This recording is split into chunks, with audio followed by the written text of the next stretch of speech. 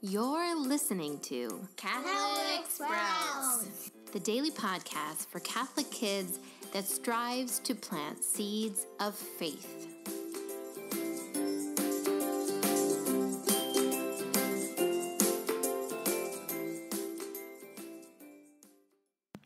Hey there, Sprouts. Today is Wednesday, January 9th, 2019. This week on the Catholic Sprouts podcast, we have been talking about holiness, which should be our number one quest this year and this life. The quest to to get sin out of our lives and to become more like God, who is a God of love, a God of mercy, and a God who is faithful. Yesterday, we talked about how God is in control of our walk towards holiness because holiness is a gift from God. And one of the key key parts of becoming holy is to stop trying to control everything ourselves and to give control over to God. Today, we are going to examine the wisdom of two amazing saints, Saint Therese and Saint Mother Teresa of Calcutta, and important words that they lived by that can truly help us on our own quest for holiness. And those words are these God does not call us to be successful, He calls us to be faithful. God does not call us to be successful, He calls us to be faithful. Now, in these simple words is a big lesson about holiness. Holiness, becoming more like God, does not guarantee and it does not require that we are successful.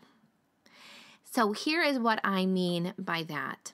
Now, if you really do love God and you are determined to make a difference in this world, maybe you're determined to start something big, you know, like feeding the hungry or starting a Bible study at your school or telling a friend about Jesus. These are all amazing things to do.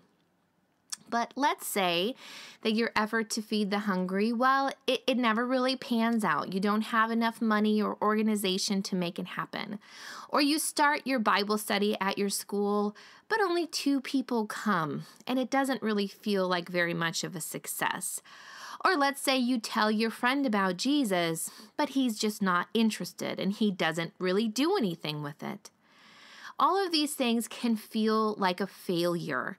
And we can think, well, I must just not be very much like God. I just must not be very holy because if I was holy, these things would have worked. These things would have really gone out and changed the world. But that is not how holiness works. As St. Therese and St. Mother Teresa of Calcutta tell us, to follow God, we do not need to be successful. We need to be faithful. Think about God in the Old Testament. He tried all sorts of things with the Israelite nation, and still, time after time, they went back to worshiping idols, they turned their back on God, and they refused to follow Him. You could almost say that God's attempt with the Israelite nation failed over and over again. And yet, what was God? He was faithful. He refused to abandon them, He refused to give up. So, if we are going to be like God, we do not get discouraged by failure, and we know that failure is not what matters to God. What matters to God is to continually try. Now let's look at these two saints that live by these words Saint Therese and Saint Mother Teresa of Calcutta. By the world's standards, one was a failure and one was a success. And yet they both live by these words. As you probably know, St. Mother Teresa of Calcutta, who lived in our modern world, she didn't die that long ago, she founded an amazing order that is still active in the world that has spread to nearly every country in this world. Thousands of thousands of women have joined her order and are out there serving the poor right now. The Sisters of Charity have made a huge impact on this world. They have comforted people as they died, and Mother Teresa's work was so recognized while she was still alive that she won the Nobel Peace Prize. That's incredible. She was invited to speak at breakfasts where the President of the United States listened to her. This is incredible. She was, although humble and grounded in God primarily, she really was a success. And then let's look at Saint Therese of Lisieux.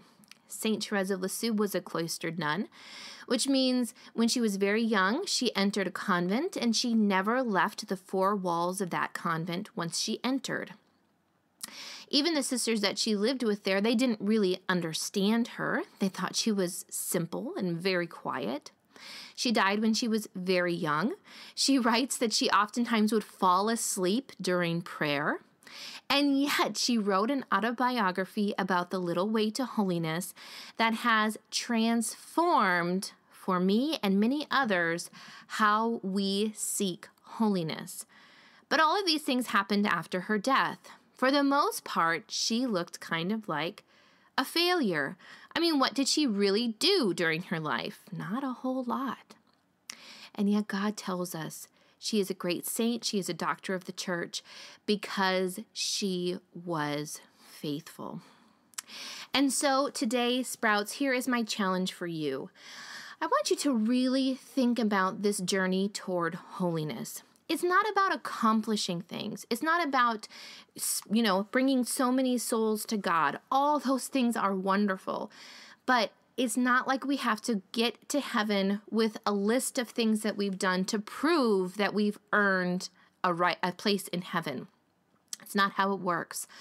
God simply asks that we try every day to follow him. Even if the day before was a failure, even if we sinned the day before, that we get up and we try again. And so, Sprouts, here's my challenge for you today. I want you to say this simple prayer Lord, teach me to be faithful like you. And really embrace this idea that we are not called to be successful, we are called to be faithful.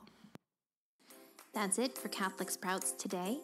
We'll be back tomorrow, but until then, continue to grow in your faith and truly sprout into the beautiful creation that God intended you to be.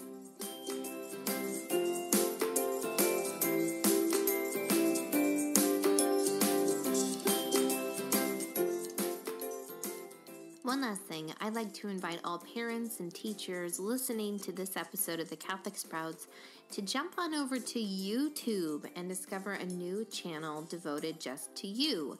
Catholic Sprouts for Moms is going to be sharing weekly videos that will hopefully help to inspire you in your own faith journey and become better teachers of the children entrusted to you. That's Catholic Sprouts for Moms, and you can find the direct link in the notes for this episode.